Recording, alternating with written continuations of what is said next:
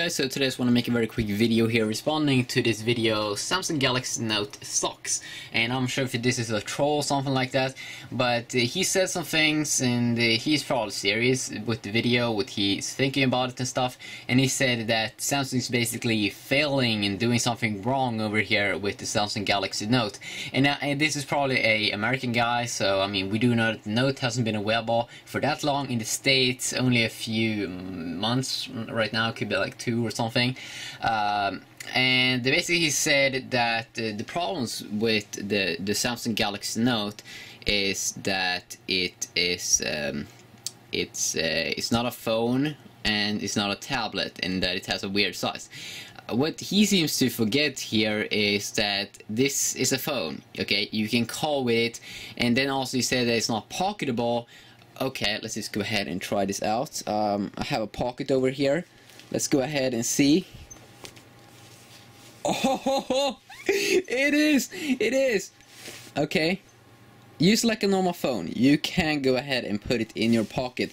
And I don't have any like massive pockets, but I mean, it's just normal. If you have skinny girl jeans, you're gonna have some problems with it but you can go ahead and put it down in your pocket um, so definitely it is pocketable uh, then also he said that it um, as I say, he, it's not a phone. He must be retarded because you, if if you can call with it, it's a phone, uh, and it's a big phone. And he said that a lot of people don't want a big phone, and this is not a tablet.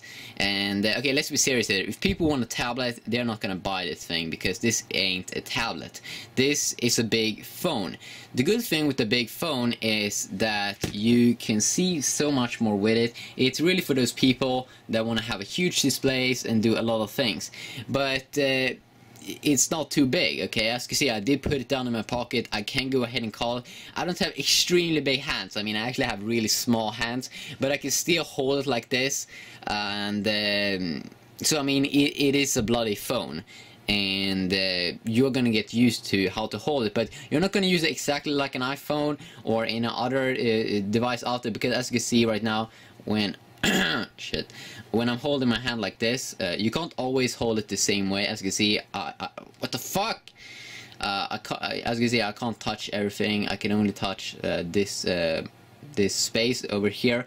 This is usually a phone that you're going to use with two hands. Uh, when you type, it feels extremely good to go ahead and, and type with uh, two hands. Um, let's see here. Yeah, when you hold like this, you have your other hand like this. Let me just go ahead and show it to you.